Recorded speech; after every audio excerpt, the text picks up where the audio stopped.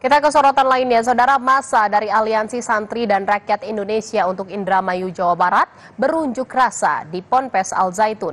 Dalam aksinya, masa mendesak Majelis Ulama Indonesia atau MUI membuat fatwa sesat untuk pimpinan Pondok Pesantren Al Zaitun.